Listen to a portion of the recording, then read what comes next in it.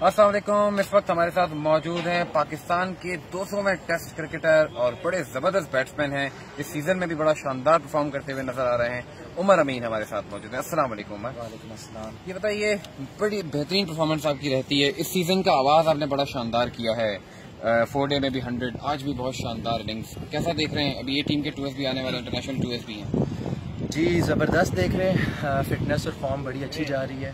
کوشش کریں گے کہ اس کو فارم کو پرفارمنسز میں کنورٹ کرتا رہوں۔ سٹارٹ تو زبردست ہو گیا دونوں دونوں ٹورنامنٹس کا۔ بس اسی طرح بڑے سکورز کر کے اپنا کیس مضبوط کرتا رہوں گا۔ وقت گزرنے کے ساتھ ساتھ ہم نے دیکھا ہے، آپ نے اپنی اسٹرائکنگ کو بڑا بہتر کیا ہے۔ نیوزی لینڈ میں آپ کے وہ تین چھکے ہی تھے جس نے پاکستان کو سیریز جتوا دی۔ لوگ آپ کو ٹی ٹوینٹی کا پلیئر نہیں مانتے تھے، لیکن وقت گزرنے کے ساتھ ساتھ آپ نے بڑا بہتر کیا ہے۔ کتنا کام کرتے ہیں اسٹروک میکنگ کے، خاص طور پہ اسٹرائکنگ پہ بالکل، اب تو کرکٹ کافی جس طرح وہ کہتے ہیں نا کہ آج کل کے جدید کرکٹ میں بڑی تیزی آ گئی ہے۔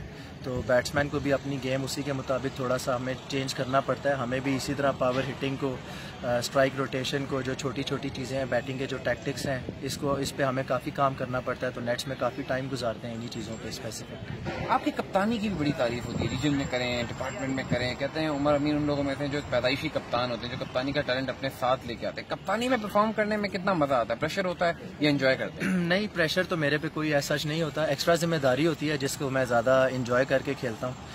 تھوڑی رسپانسبلٹی زیادہ بڑھ جاتی ہے۔ تو رسپانسبلٹی جب میرے پہ بڑھ جاتی ہے تو ذرا میں زیادہ فوکس ہو جاتا ہوں۔ جس کی وجہ سے ہمیشہ ایز اے کیپٹن میری پرفارمنسز زیادہ بہتر رہی ہیں as compare to just as a player اپنے فینس کے لیے لاسٹ میں کیا کہنا چاہیں گے؟ لوگ بہت پسند کرتے ہیں آپ کو لوگ آپ کو دیکھنا چاہتے ہیں۔ لوگوں کو بس یہی کہیں گے کہ پسند کرتے رہیں دعا کرتے رہیں انشاءاللہ آپ لوگوں کو مایوس نہیں کریں گے اب جب کم بیک ہوں تھینک یو تھینک یو